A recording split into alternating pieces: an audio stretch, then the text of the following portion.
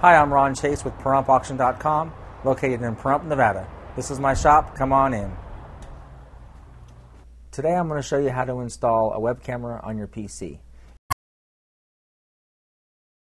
Insert the disk in the computer's disk drive and follow all the on-screen instructions. If you do not have a disk, you can also go to the manufacturer's website. I'm using this camera right here, created by Creative Labs. So we'll go to the internet, and we'll go to creativelabs.com. And if I look in the bottom of the camera, I'll also find a model number, CT6840. So on most manufacturers' websites, you can look for uh, the drivers you need to load the camera. In this case, there's a support option. Once the page loads, I can choose my products. And sometimes you can just type in the model number. Uh, web cameras.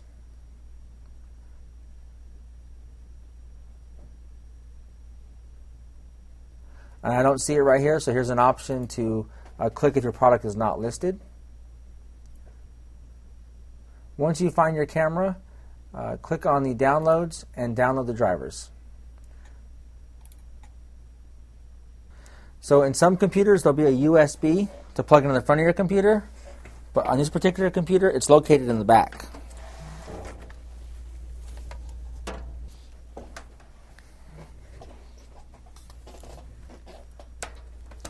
Once the camera is plugged in, the new hardware wizard starts to run and just follow the on-screen prompts to install the new hardware.